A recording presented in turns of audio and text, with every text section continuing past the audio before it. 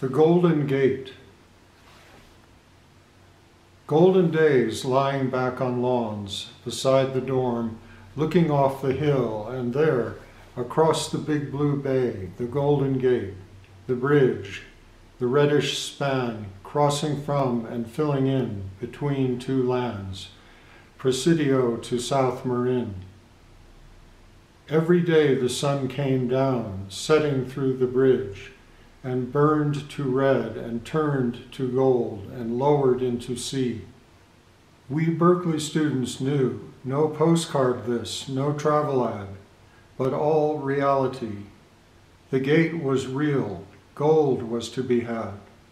Right out there, beyond the gate, down and to the left of big Mount Tam.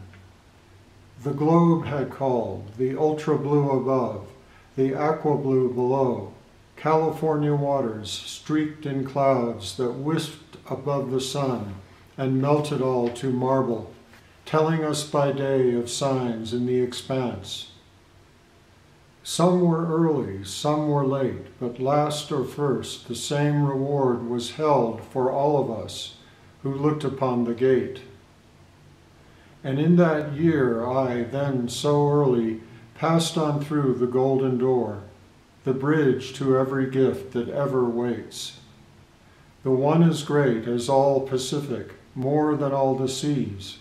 The one beyond the gate had called me first, at age 18, and in the morning made me walk. And north I went to Concord, Davis, Sacramento. From age 18, the California sacred fields became the land where I was born, again where I was born.